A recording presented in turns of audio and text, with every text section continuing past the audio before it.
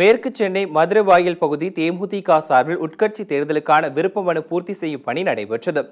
மேற்கு சென்னை மாவட்ட செயலாளர் தினகர் அறிவுறுத்தலின் பேரிலும் மதுரவாயில் பகுதி செயலாளர் சதீஷ்காந்த் மற்றும் பகுதி பொறுப்பாளர்கள் ராமமூர்த்தி வேல்முருகன் முன்னிலையிலும் உட்கட்சி தேர்தலுக்கான விருப்ப மனு பூர்த்தி செய்யும் பணி நடைபெற்றது.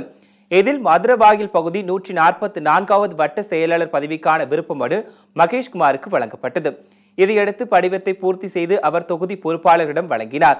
அப்போது மதுரவாயில் நூற்றி நாற்பத்தி ஏழாவது வட்ட செயலாளர் குமார் நூற்றி நாற்பத்தி ஐந்தாவது பகுதி வட்ட செயலாளர் கார்த்திக் நூற்றி நாற்பத்தி நான்காவது வட்ட துணைத் தலைவர் முருகன் ஆகியோர் உடனிருந்தனர்.